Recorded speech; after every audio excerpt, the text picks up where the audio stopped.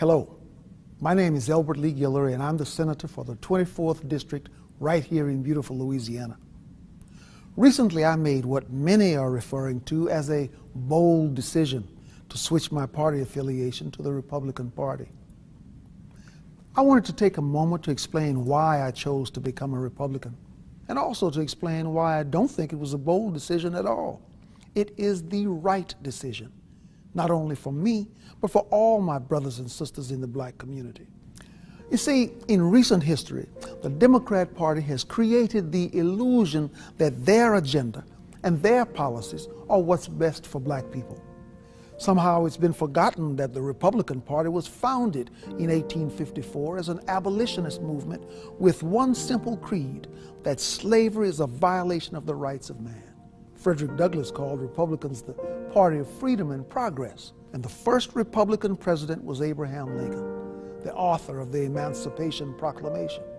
It was Republicans in Congress who authored the 13th, 14th, and 15th Amendments, giving former slaves citizenship, voting rights, and due process of law.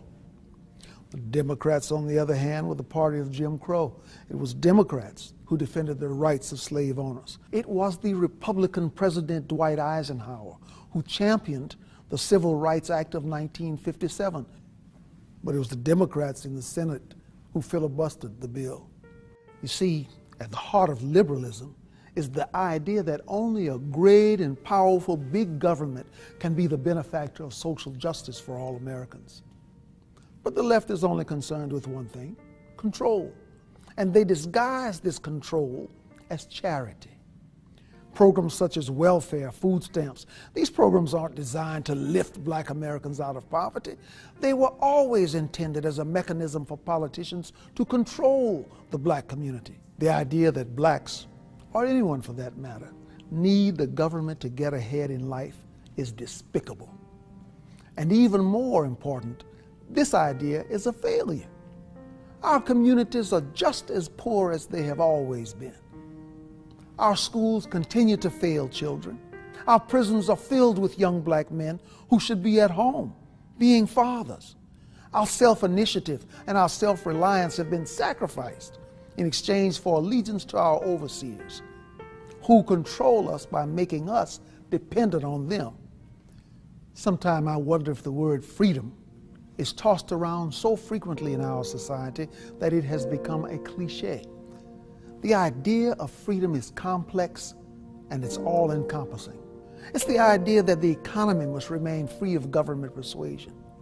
It's the idea that the press must operate without government intrusion. And it's the idea that the emails and phone records of Americans should remain free from government search and seizure is the idea that parents must be the decision makers in regards to their children's education, not some government bureaucrat. But most importantly, it is the idea that the individual must be free to pursue his or her own happiness, free from government dependence and free from government control. Because to be truly free is to be reliant on no one other than the author of our destiny. These are the ideas at the core of the Republican Party, and it is why I am a Republican. So, my brothers and sisters of the American community, please join with me today in abandoning the government plantation and the party of disappointment, so that we may all echo the words of one Republican leader who famously said, Free at last, free at last. Thank God Almighty, we are free at last.